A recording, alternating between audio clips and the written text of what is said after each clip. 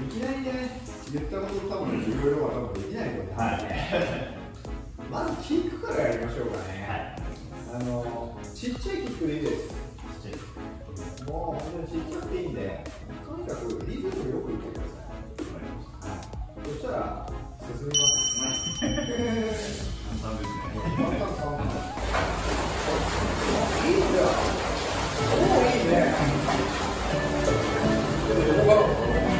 全然違いま